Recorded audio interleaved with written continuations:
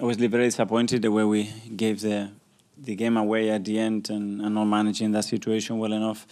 And uh, you get punished in the Champions League. Uh, you cannot win it, you don't lose it. Um, we really dominated the game, but we lacked purpose, especially in the first half, to, to have much more aggression, uh, to break lines, to play forward, to to generate much more threat in that back line. In the second half, there were better, much better things, and we generated a lot of situations without really creating much from it. But uh, we will learn from it. Now it's clear. It's halftime. Uh, you want to be in quarterfinals, you have to be your opponent. It's clear, uh, and that will be the purpose and the plan uh, with all our supporters together to to do it.